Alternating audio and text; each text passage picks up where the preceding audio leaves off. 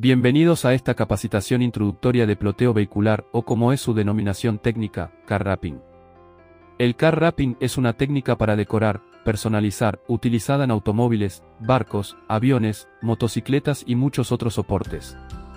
Se emplea un vinilo especial adhesivo que recubre total o parcialmente el vehículo, moldeando manualmente el material que se adhiere sobre la pintura.